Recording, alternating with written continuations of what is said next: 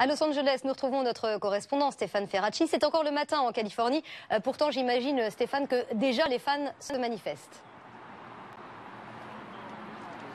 Effectivement, dès hier après-midi, au moment où la nouvelle de la mort de Whitney Houston est parvenue aux oreilles euh, du public, eh bien, des centaines de fans se sont précipités aux apports euh, du Beverly Hilton Hotel, euh, là où résidait la star pour une semaine.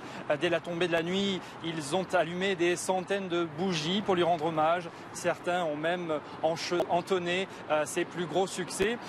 une veillée improvisée qui a duré une bonne partie de la nuit. Et puis, ce matin, tous les regards se tournent désormais vers le Staples Center, là où va avoir lieu ce soir la cérémonie des Grammy. Cette euh, cérémonie, c'est un peu euh, les victoires de la musique pour les Américains. Whitney Houston devait ce soir y, chanter. Elle a déjà reçu six récompenses ici. ici, Eh bien, d'ores et déjà, on sait que la cérémonie est maintenue. Un hommage tout particulier va lui être rendu par la chanteuse Jennifer Hudson, elle aussi, elle aussi chanteuse noire américaine de R&B. On imagine donc euh, aisément que ce soir, la cérémonie sera placée sous le signe de l'émotion, une soirée en forme de premier hommage pour Whitney Houston. Merci Stéphane Ferracci en direct de Los Angeles.